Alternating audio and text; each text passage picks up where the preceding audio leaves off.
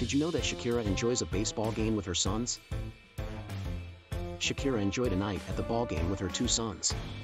On Wednesday, the singer, Hips Don't Lie singer, 46, shared photos from her night out Tuesday with sons Sasha, 7, and Milan, 9, who she shares with ex Gerard Pique.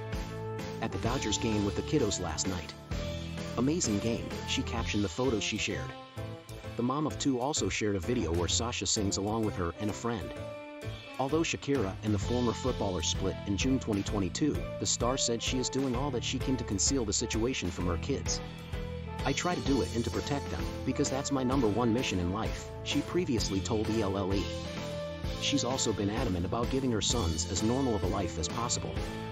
I can't deny they can't escape the reality that I'm a public person, as well as their dad, Shakira told ET Canada in 2021 but we try to provide as much normalcy as we can, and live really as very simple people. On Instagram in April, the singer opened up about moving from Barcelona, her family's previous home base, to Miami.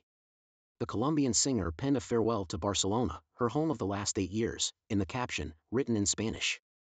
I settled in Barcelona to give my son stability, the same that we are now looking for in another corner of the world besides family, friends, and the sea. Today we started a new chapter in the search for happiness, she wrote, as translated to English. The Monotonía singer went on to thank everyone who surfed many waves with me in Barcelona, the city where I learned that without a doubt, friendship is longer than love. Thank you to everyone there who encouraged me, dried my tears, inspired me and made me grow, she added. Thank you to the Spanish public who always wrapped me up with care and loyalty. For you all this is just a see you later and, like my father always said, we'll see you in the curves. Subscribe now to see more heartwarming moments from celebrities.